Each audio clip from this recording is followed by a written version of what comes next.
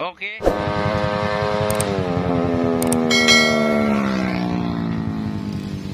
Um, hello mga boss, Ah, welcome po sa panibagong araw na may kasamang panibagong video. Ah, ngayon po, magkakabit po tayo ng um, clutch spring po na may kasamang lining. Bali set na po to. Pitch bike po yung brand mga boss.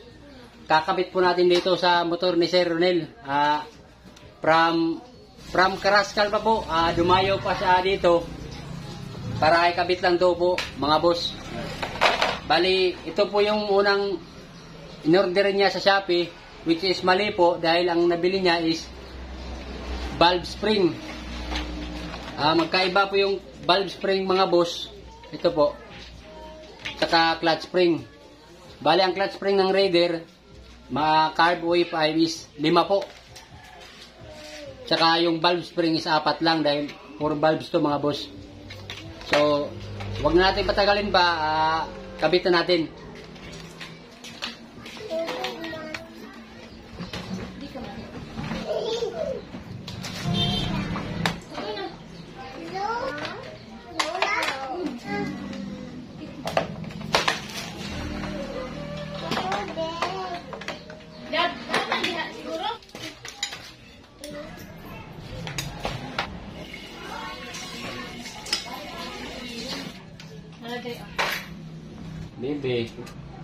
Oh,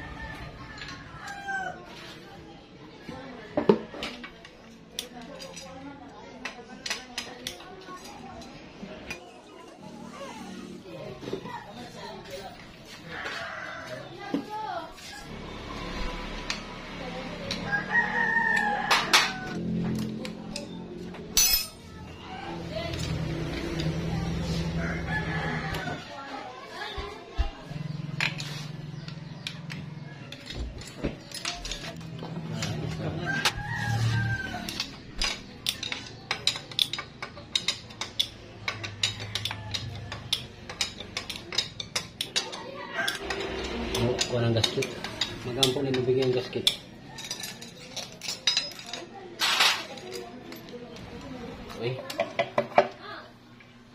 Clutch?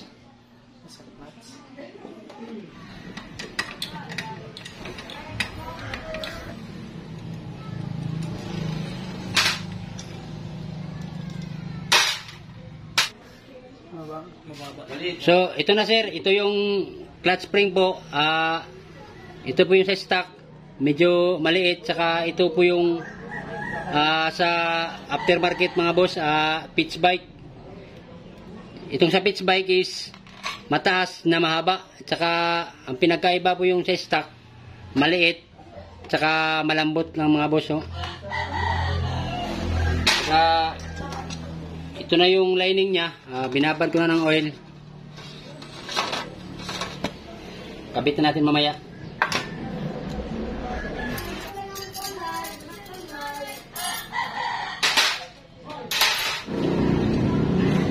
So, bali mga boss, ah, bago natin ikabit tong lining, saka tong spring, ah, quick tip lang muna tayo. Ah, pagka nagpalit ba ng spring, eh, lalakas ba yung motor mo?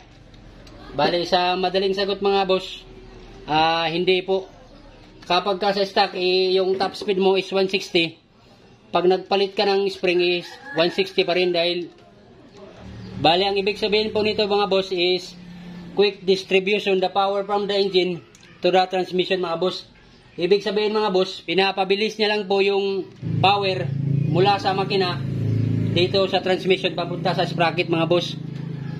So, wala pong madadagdag na top speed. Pero lalakas yung arangkada mo mga boss. Kabit na natin.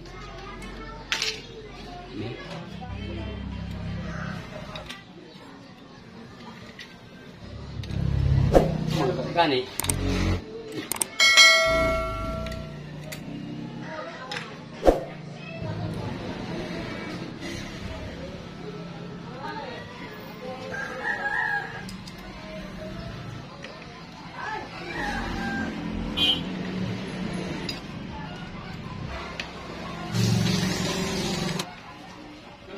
Paningot ko, tagal So, okay na mga boss. Bali, kabitan lang natin. Um, pag, ah, pag, sa pagkabit po nito mga boss, dapat, check nyo muna tong o-ring dito mga boss. May maliit na o-ring po mga boss. Para po tuloy-tuloy yung supply ng oil mga boss.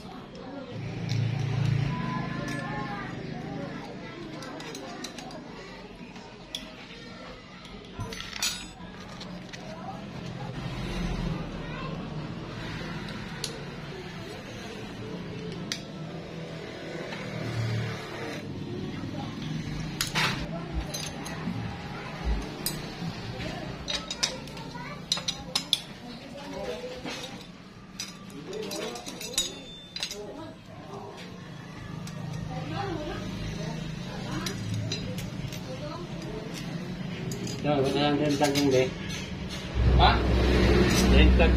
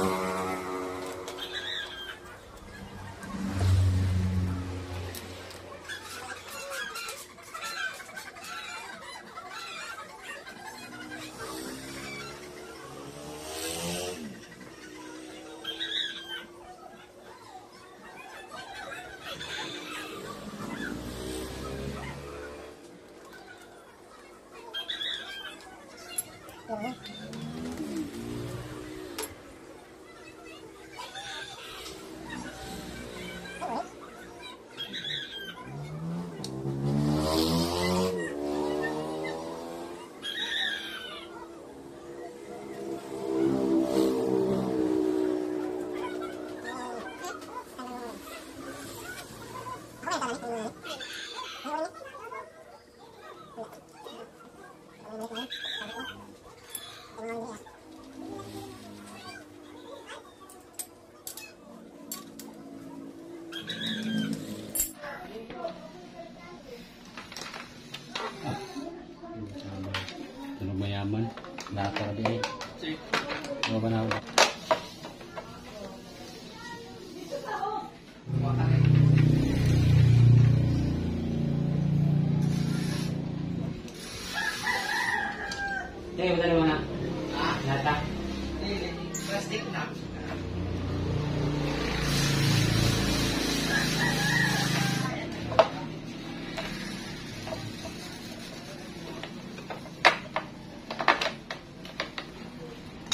Nga niya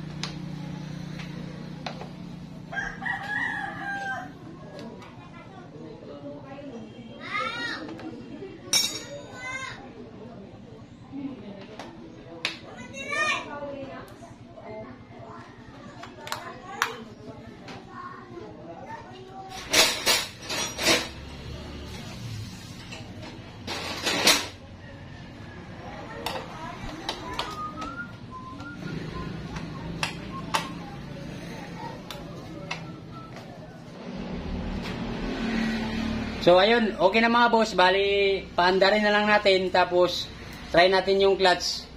Ito. Kung okay ba yung shifting niya, yung for ay tawag nito.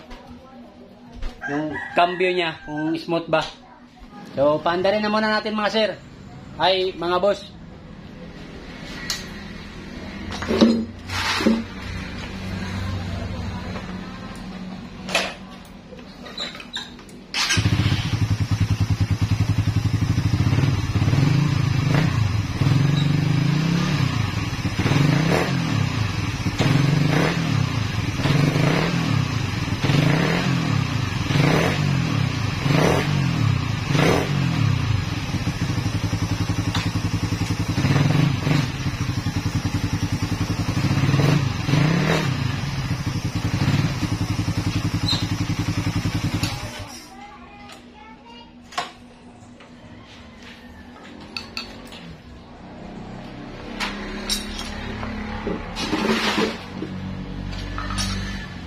So okay na mga boss. Bali, okay na yung clutch niya. Tapos, malambot pala kahit inubos ko yung limang spring. Okay naman yung clutch niya mga boss. So salamat po sa panonood. Um, paki-subscribe po sa YouTube channel ko, then paki-hit na lang yung notification bell para mas updated pa kayo sa mga bidyong ipapalabas ko. Um, tapos yun lang, um, ride safe, um, God bless. Bye.